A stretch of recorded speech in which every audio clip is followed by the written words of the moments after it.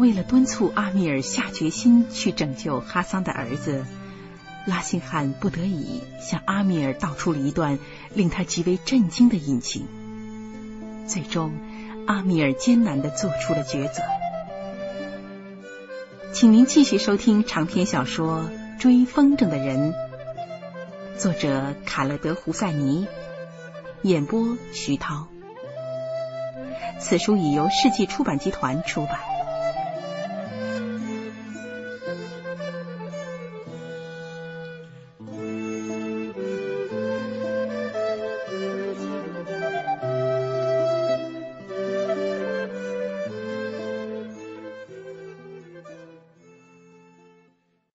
在驶往喀布尔的车上，我试图让眼光盯牢在北方新都库什山脉白雪皑皑的峰顶，但每次我的胃稍微平息一些，卡车便来个转弯，让我又一次的恶心。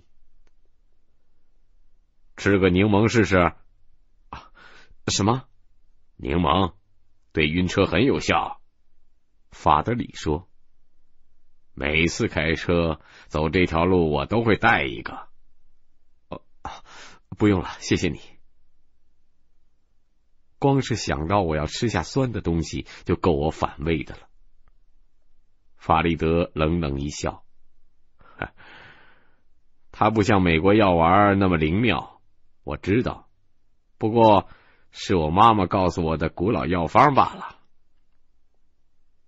我后悔白白放过这个和他套近乎的机会。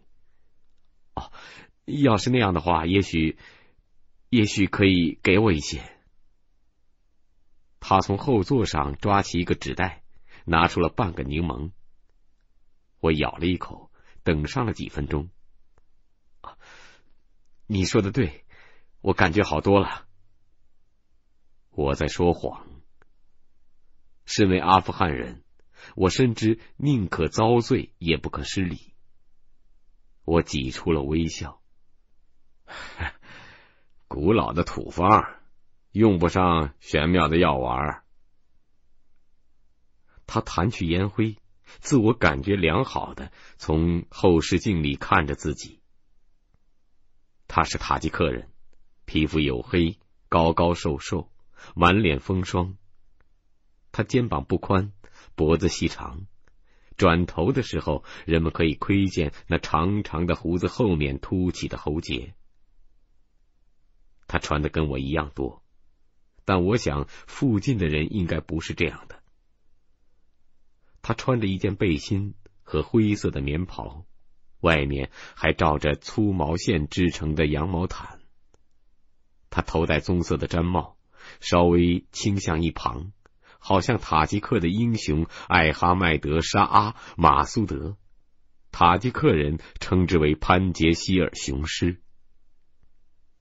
在白沙瓦，拉辛汗介绍我认识法里德，他告诉我法里德二十九岁，不过他那机警的脸满是皱纹，看上去要老二十岁。他生于马扎里沙利夫，在那里生活。直到十岁那年，他父亲举家搬到贾拉拉巴特。十四岁，他和父亲加入了人民圣战者组织，抗击俄国佬。他们在潘杰希尔峡谷抗战了两年，直到直升机的炮火把他的父亲炸成碎片。法里德娶了两个妻子，有五个小孩。拉辛汉脸露悲哀的说。他过去有七个小孩，但在早几年就在加拉拉巴特城外，地雷爆炸，夺走了他两个最小的女儿。那次爆炸还要去了他的脚趾以及他左手的三个手指。在那之后，他带着妻子和小孩搬到了白沙瓦。关卡，法里德不满的说。我稍稍瘫在座位上，双臂抱胸，暂时忘却了眩晕的感觉。但我不用担心，两个阿富汗民兵朝我们这辆破旧的陆地巡洋舰走过来，匆匆看了一眼车内，挥手让我们走。在拉辛汉和我准备的清单中，法里德是第一页。清单还包括把美元换成卡尔达和阿富汗尼钞票，我的长袍和毡帽。讽刺的是，真正在阿富汗生活的那些年，这两件东西我都没有穿过。哈桑和索拉伯的宝丽来合影，最后，也许是最重要的是，一副黑色假胡子，长及胸膛，表示对伊斯兰教，至少是塔利班眼中的伊斯兰教的友好。拉辛汉认得白沙瓦几个精于此道的家伙。有时，他们替那些前来报道战争的西方记者服务。拉辛汉曾要求我多陪他几天，计划的更详尽一些，但我知道自己得尽快启程。我害怕自己改变主意，我害怕自己会犹豫不决、瞻前顾后、寝食难安，寻找理由说服自己不要前去。我害怕来自美国生活的诱惑会将我拉回去。而我再也不会趟进这条大河，让自己遗忘，让这几天得知的一切沉在水底。我害怕河水将我冲走，将我冲离那些当仁不让的责任，冲离哈桑，冲离那正在召唤我的往事，冲离最后一次赎罪的机会。所以我在这一切都还来不及发生之前就出发了。至于索拉雅，我没有告诉他我回阿富汗并非明智之举。如果我那么做，他会给自己订机票，坐上下一班飞往阿富汗的客机。我们已经越过国境，触目皆是贫穷的迹象，在路的两旁。我看见村落一座连一座，如同被丢弃的玩具般散落在岩石间，而那些残破的泥屋和茅舍，无非是四根木柱加上屋顶的破布。我看见衣不遮体的孩子在屋外追逐着一个足球。再过几里路，我看到有群男人躬身蹲坐，如同一群乌鸦，坐着的是。被焚毁的破旧俄军坦克，寒风吹起他们身边毛毯的边缘，猎猎作响。他们身后有个穿着棕色长袍的女子，肩膀上扛着大陶罐，沿着车辙蜿蜒的小径走向一排泥屋。我说：“ 真奇怪啊！啊，什么？”我回到自己的国家，却发现自己像个游客。路边有个牧人，领着几只干瘦的山羊在赶路。法里德冷笑着扔掉了烟蒂。你还把这个地方当成国家？我想，有一部分的我永远会这么认为。我说着。我的戒备之心出乎自己的意料之外。啊，在美国生活了二十年之后，法里德说着，打着方向盘，避开路上一个海滩球那么大的洞。我点点头。我在阿富汗长大。法里德又冷笑。你为什么这样？啊，没什么。不，我想知道你干嘛这样。借着法里德的后视镜，我见到他眼神里有神色在闪动。你想知道？哈，我来想象一下，老爷，你也许生活在一座两层或者三层的楼房，有漂亮的后院，你的园丁。给他种满花草和果树，当然门都锁上了。你父亲开着美国车，你有仆人，估计是哈扎拉人。你的父母请来工人装潢他们举办宴会的房间，好让他的朋友们前来饮酒喝茶，吹嘘他们在美国和欧洲的游历。而我敢拿我大儿子的眼睛打赌，这是你第一次在毡帽。我说的没错吧？他朝我咧嘴而笑，露出一口过早重拾的牙齿。你为什么要说这些呢？因为你想知道。他说着，指着一个衣衫褴褛的老人，背着装满柴草的麻袋，在泥土路上跋涉前进。啊，那才是真正的阿富汗人，老爷，那才是我认识的阿富汗人。你在这里，你一直无非是个。过客而已，不过你自己不知道罢了。拉辛汉警告过我，在阿富汗，别指望那些留下来战斗的人给我好脸色看。我，我为你父亲感到难过，我我为你女儿感到难过，我为你的手感到难过。哎。那对我来说没有意义。为什么无论如何你们总是要回到这里呢？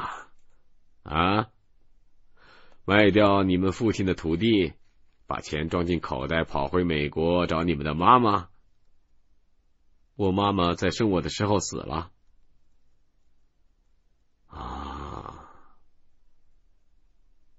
他叹了口气，又点了一根烟，一语不发。停车！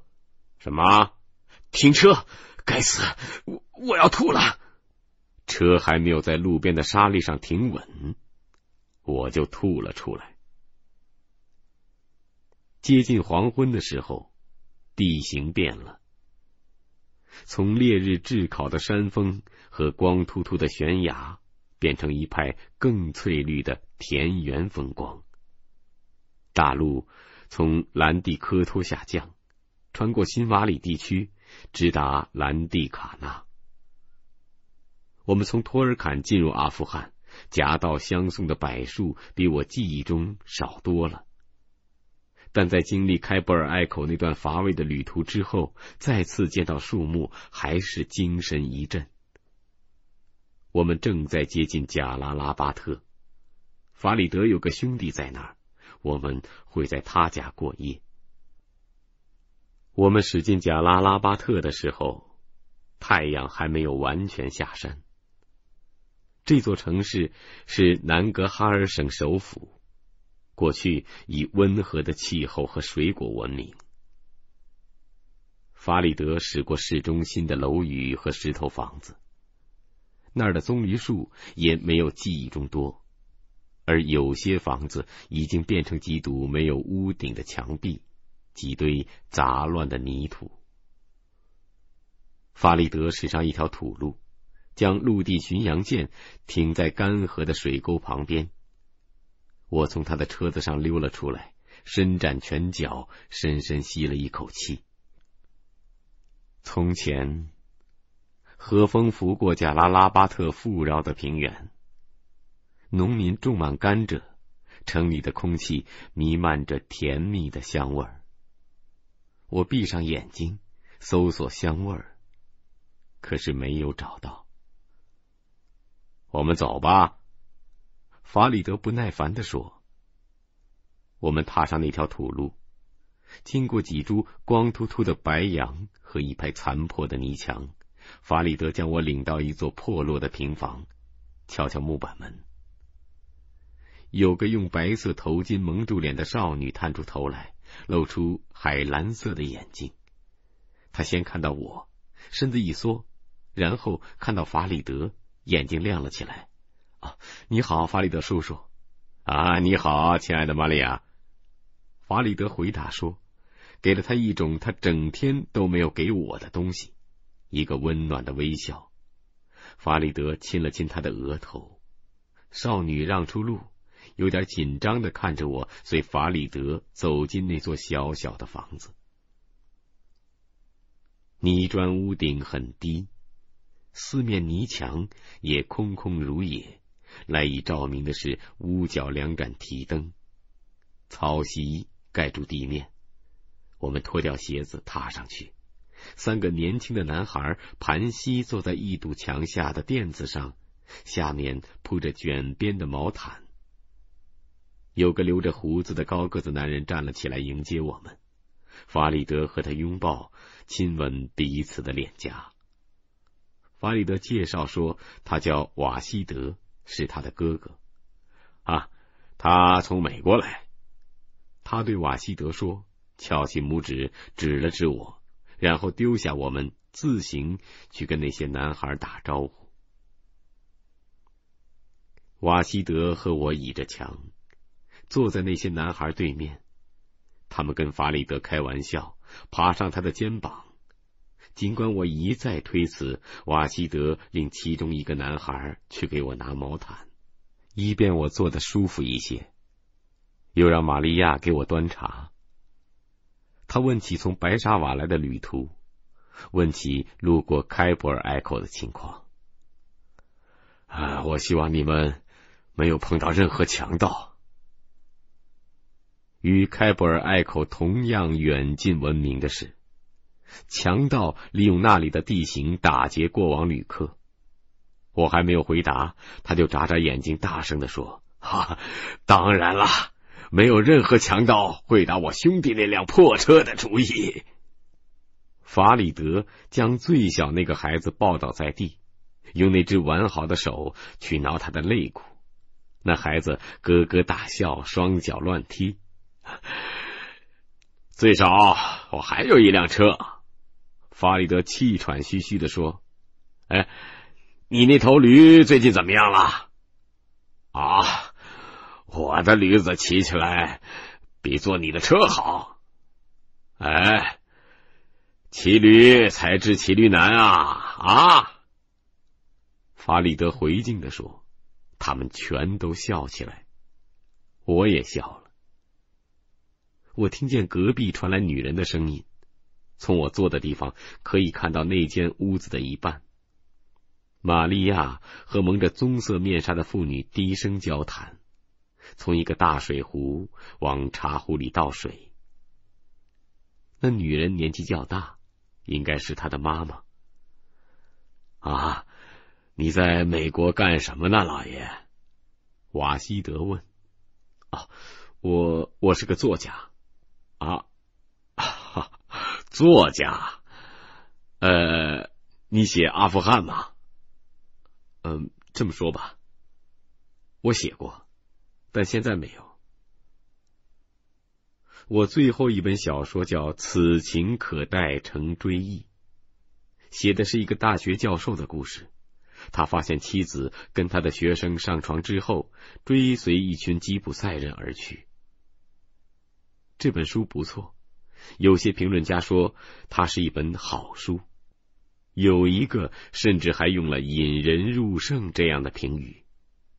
但突然之间，他让我感到很难为情。我希望瓦西德不会问起他的内容。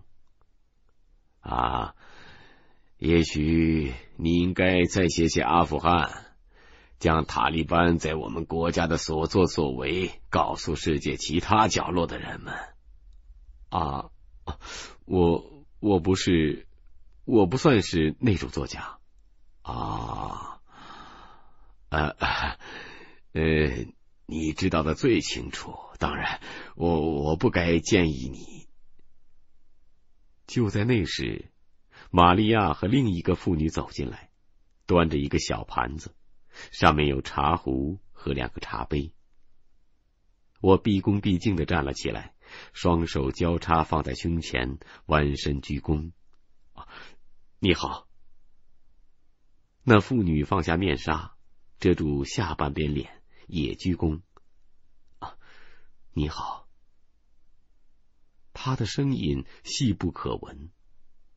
我们不看对方的眼睛。他倒茶水的时候，我站立着。那妇人将热气腾腾的茶杯放在我面前，退出房间。离开的时候，他赤裸的双脚没有发出任何声音。我坐下。喝起那杯浓浓的红茶。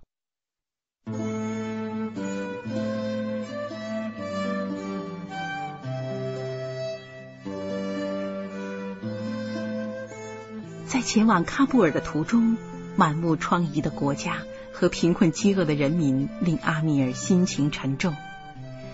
尽管已有充分的思想准备但已是面目全非的喀布尔仍令阿米尔震惊不已。欢迎您明天同一时间继续收听长篇小说《追风筝的人》。